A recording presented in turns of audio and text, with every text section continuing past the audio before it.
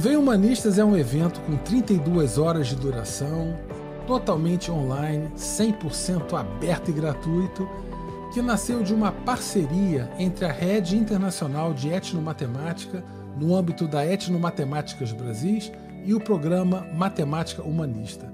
O foco desse evento é justamente compartilhar uh, experiências, pesquisas, relatos, ensaios e reflexões sobre etnomatemática e matemática humanista. Sim, podemos dizer que o V Humanistas ele é um evento inovador, sim, sem dúvida. No entanto, é, eu preciso sublinhar que a inovação que o Vem Humanistas traz enquanto evento acadêmico não é o fato de ele ser aberto ou de ser online. Eu acho que na época da pandemia, eventos online há, já há em, em abundância. A inovação trazida pelo evento Vem Humanistas perpassa o deslocamento do foco para o participante e a forma com a qual ele apreende e ele tem a oportunidade de participar da construção e do seu aproveitamento dentro do evento. É, essa é a grande inovação trazida pelo Vem Humanistas. De um modo geral, os eventos acadêmicos eles são compostos por apresentações de trabalhos, relatos de pesquisa, experiências, compartilhamento, palestras né? Então há um grande foco no conferencista, um grande foco no trabalho, na apresentação e o público que participa do evento, ele em geral o faz de maneira muito passiva. Ele assiste às falas, ele assiste às palestras. Há muito pouco espaço para um debate mais profundo sobre aqueles trabalhos que são apresentados uh, no evento. E é nesse sentido que o Vem Humanista se revela profundamente inovador. É, ele é composto por oito programas e cada programa tem dois momentos. Então, um primeiro momento em que o conferencista ou os conferencistas apresentam o, seu, os seus trabalhos, pesquisas, relatos, e um segundo momento, né, no dias após o primeiro encontro, no segundo momento, que é no dia seguinte, há um debate aprofundado e extenso sobre aquilo que foi apresentado na véspera. Portanto, cada programa do Vem Humanistas contém não apenas um momento de apresentação de uma pesquisa, de um relato, e acreditem, há relatos e pesquisas maravilhosos, conferencistas lindos, maravilhosos, tá? O ponto é que há também, no dia seguinte a cada apresentação de trabalho, um encontro profundo de debate cuidadoso, zeloso sobre como o público aprendeu, construiu, entendeu, tem dúvidas, vai perguntar. É um debate aberto ao público participante sobre aquele trabalho apresentado na véspera. Então eu acho que essa é a grande inovação trazida pelo Vem Humanistas. É esse grande deslocamento, né? Esse, na verdade, não é um deslocamento no sentido de que não há mais carinho com os participantes ou com suas pesquisas, não é isso, né? Eu digo, vamos também incluir de maneira mais ativa né, a participação do público presente. Bom, como eu disse, o Vem Humanistas ele é composto por oito programas. Cada programa, por sua vez, possui dois momentos. Então eu vou explicar um pouco com calma essa parte para vocês. O primeiro programa de abertura é com o professor Ubiratã D'Ambrosio. Ele vai falar conosco sobre a visão historiográfica da etnomatemática como um empreendimento humanista. Então reparem que há duas datas: a data da apresentação, no que se dará no canal Vem Brasil, onde o professor Ubiratã D'Ambrosio ele vai falar sobre é, esse tema especificamente. E no dia seguinte, no dia 27, haverá o debate. Né? Quer dizer, após as pessoas verem a palestra do professor Ubiratã, reverem, pensarem, refletirem, por vezes debaterem até entre si em outros espaços no dia seguinte eles poderão trazer as suas dúvidas e as suas questões com outro nível de aprofundamento né, e de profundidade, de maturidade para o debate. Então, essa é uma dimensão bastante importante. Esse é o programa de estreia, tá certo? Ele é importante sobre a questão da certificação, é que para você, se você tem interesse em obter a certificação da participação nesse programa do, do professor Ubiratã, o que você deve fazer? Você deve se inscrever tá? no site www.matematicohumanista.com.br barra Vem Humanistas, você vai se inscrever nesse programa. São oito programas, então se você quiser participar dos oito, tem que se inscrever oito vezes, tá? Em cada um deles, tá certo? Então isso é uma coisa importante.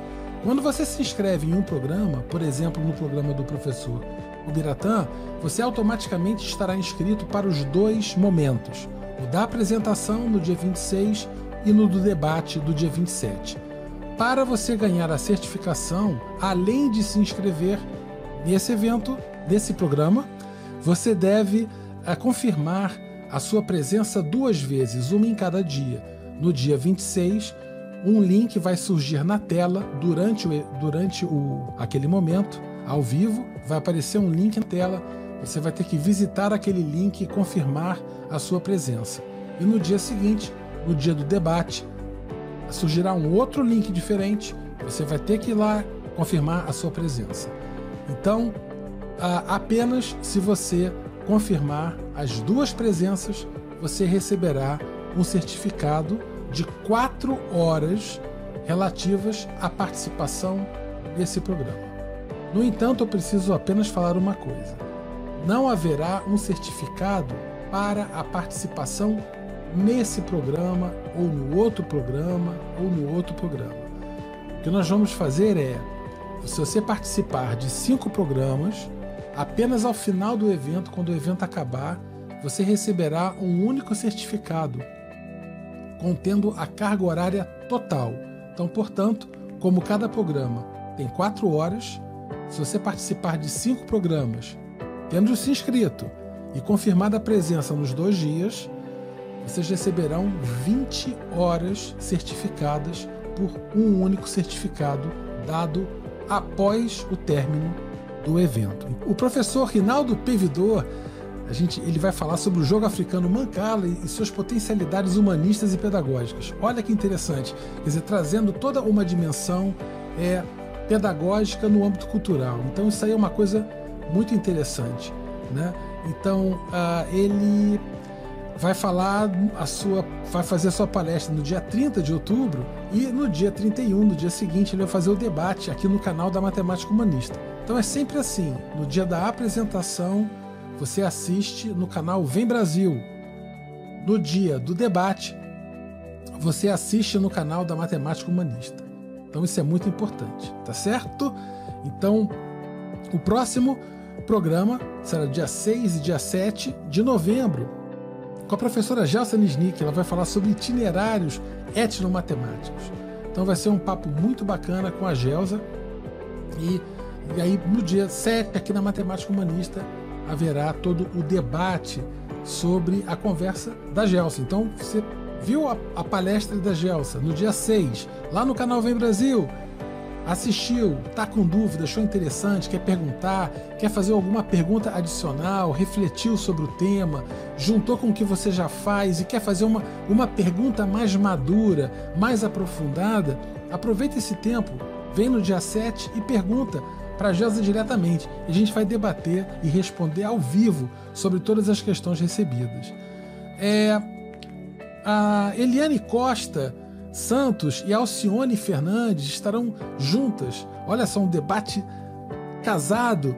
Duas, cada uma vai falar. A Eliane vai falar sobre ticas de matemas de várias etnos caminhos para a decolonialidade do currículo escolar, né, que é um assunto que está super em pauta agora, quer dizer, na, em etnomatemática, essa coisa da crítica pós-colonial já é algo já, já bastante realizado, já há bastante tempo, e nesse momento né, tão necessário, tão importante, há um aumento fundamental dos debates sobre esse tema da decolonialidade do currículo escolar.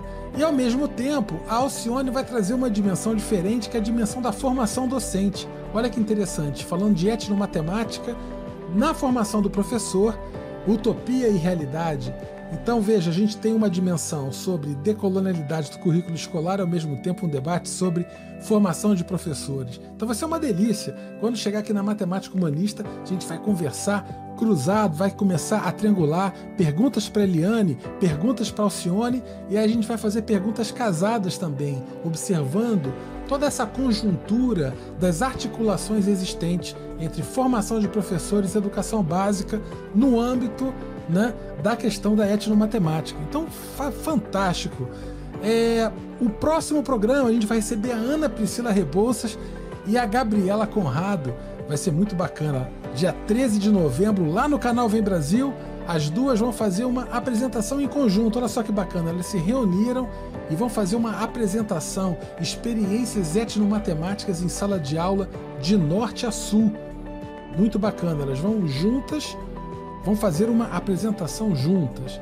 E aí, no debate do dia 14, eu recebo as duas aqui na Matemática Humanista e a gente vai debater sobre essa apresentação que elas fizeram, sobre as especificidades, similaridades das experiências trazidas por cada uma. Então vai ser muito interessante. Receberemos depois, nos dias 16 e 17 de novembro, a Cristiane Kopp e a Maria Cecília Fantinato. A Cristiane Kopp, ela participa do GPEM, que é um grupo de estudos e pesquisa em etnomatemática da USP, um grupo pioneiro, super tradicional na área de etnomatemática, em pesquisa. Então, grupo fantástico. Aí a Cris vai estar presente aqui com a gente falando sobre as pesquisas do grupo, né? pesquisas em etnomatemática, né? a nova geração do GPEM. Então está falando sobre pessoal que está fazendo coisa nova, que está trazendo novidades.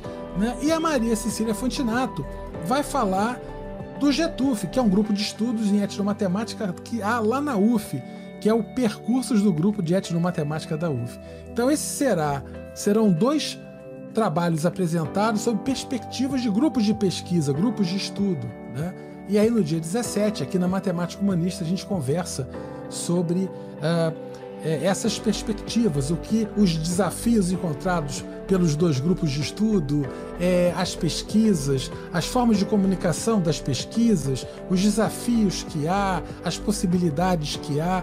Então, o pessoal de todo o Brasil aí, que está nas universidades, que está preocupado com pesquisa em etnomatemática, que quer trazer uma dimensão, que já faz, vai ouvir relatos né, de colegas que também é, estão nessa mesma batalha e acho que vai ser um programa muito legal.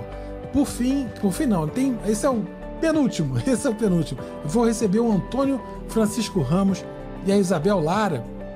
O Antônio vai falar sobre etnomatemática como perspectiva do estudo dos artefatos culturais indígenas e africanos no contexto da Lei 11.645 de 2008. Então ele vai trazer uma outra dimensão completamente diferente, né, que tem a ver com questões até do, do, do universo da lei mesmo. Então isso é um debate importante, é algo mais institucional, é uma dimensão muito relevante que a gente precisa também incluir nos debates. E a Isabel vai trazer a etnomatemática como método de pesquisa e de ensino na educação básica, as possibilidades para o reconhecimento dos diferentes modos de matematizar. Então, são pontos aparentemente distintos, são distintos, mas aparentemente talvez desarticulados, mas não. A gente vai no dia 21 promover, promover articulações muito interessantes entre esses dois temas.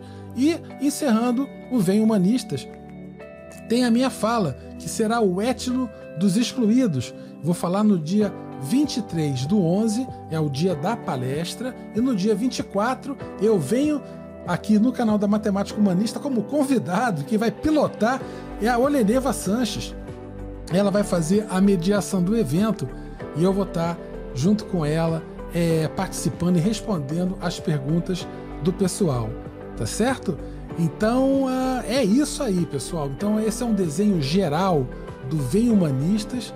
E vamos lá, vamos continuar na luta. O evento está chegando. Inscrevam-se, www.matemáticohumanista.com.br barra Vem Humanistas 32 horas de evento 100% online, aberto, gratuito, com certificação para quem se inscrever e comprovar a presença nos dois momentos de cada programa. E a gente vai dar ao final um certificado com a carga horária total cursada.